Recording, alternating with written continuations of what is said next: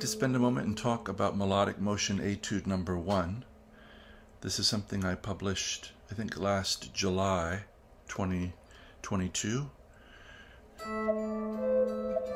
It's a great one for the ears, for the hands, for having to keep some kind of a rhythmic pulse going in continuity, and for just hearing the sound of 1 5 1.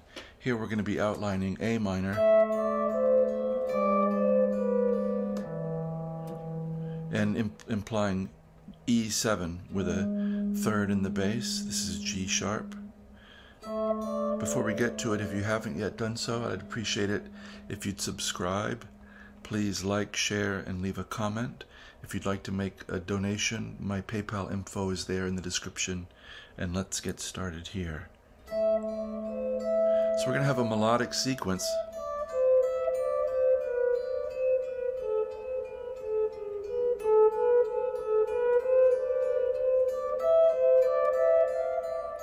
That's the whole line. And every few notes, we're going to shift bass notes to make it sound like it's going from A minor to E7.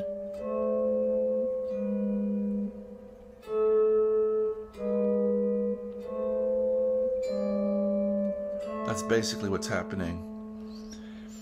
So A and E, this is fifth and first string. We dip into the second. E, D, C, E. And here we're using, as is often the case with this style, second finger on the bass.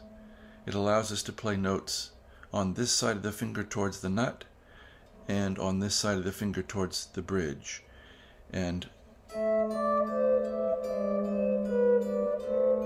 that's what we need in this situation here to make this melodic line smooth. If we tried other fingerings, we'd end up either barring, in which case notes might carry over one to another, and I think we want separation in this kind of line. So we're using this kind of second fingering position. E, D, C, E. So 12 and 12. 12, 10, 13, 12.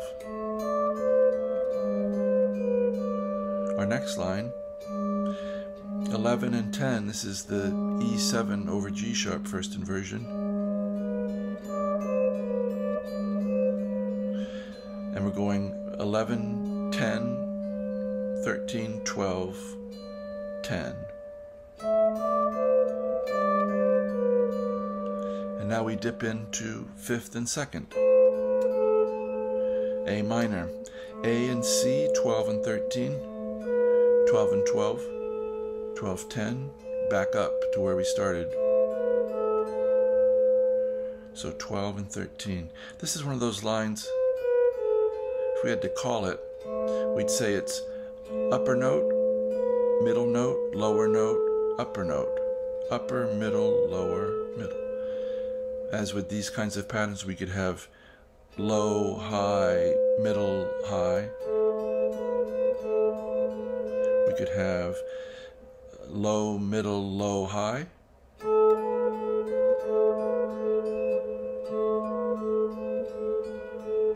So there's some mathematical combinations you can work out there of all the permutations of three notes using low, middle, and high as a way to identify them.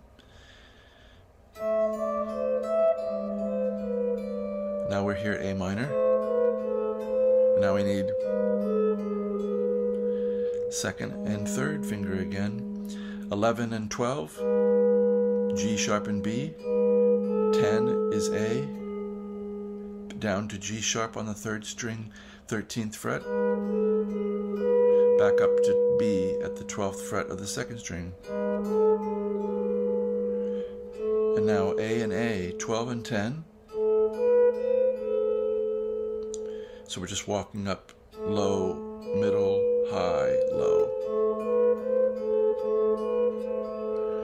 12, 10, 12, 12, 12, 13, 12, 10. Really, though, this is a line you want to be able to know the formula, which is bass is moving down a half step and back, and we're trying to melodically follow this pattern.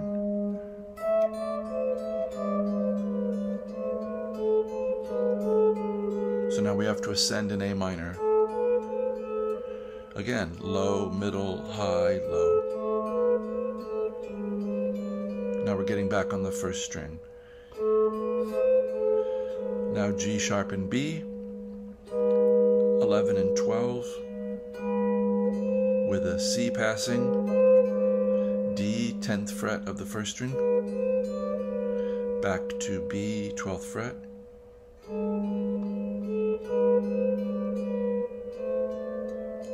Now we're almost there. A and C, 12 and 13. D, D, E, C. And I hope you're kind of seeing the scale.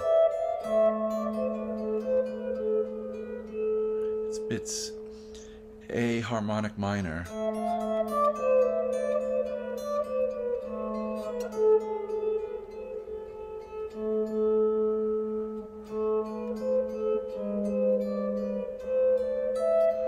A and C, D, E, C, and now final. G sharp and D, E, 12, F, flat 9, 13th fret of the first string.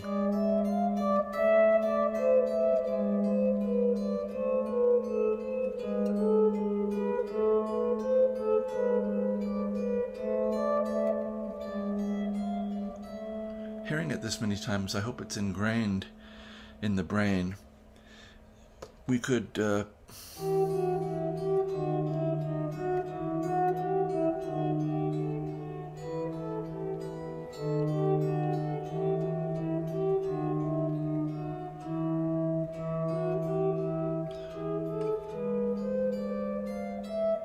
do it in another key, E minor.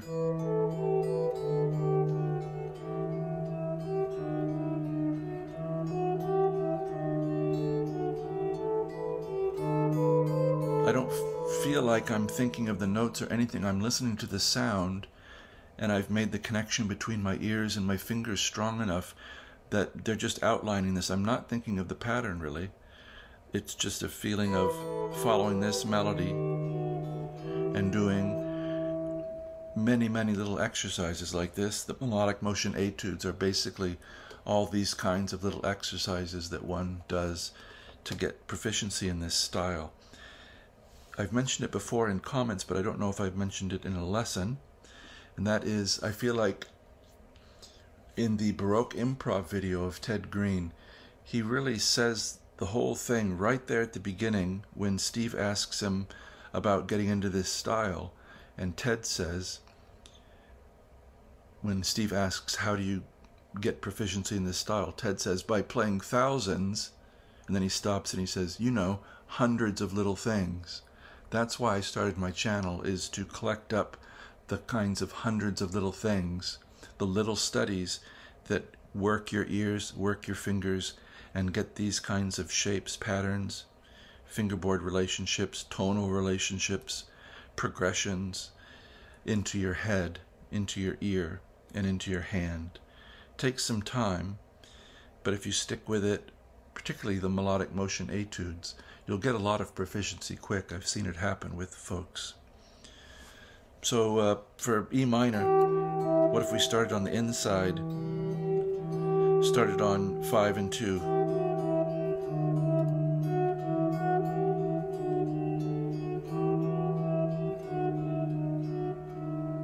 I think you'd be able to do that without even, if you've learned this one here, you wouldn't even have to think about it too much.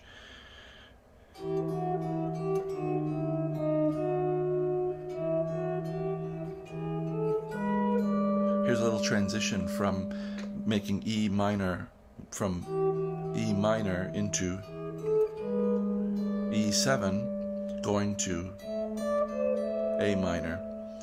So here's E minor. Now we need E and G sharp, and we've introduced the note that will define A harmonic minor. This is that G sharp, the leading tone of A. So here's 7 and 9, E and G sharp. And G sharp and B with a D on top. I'm having to use second and fourth finger on 11 and 12, G sharp and B, with first finger catching the D up there at 10th fret. Because we need second finger to be in line to play the bass line.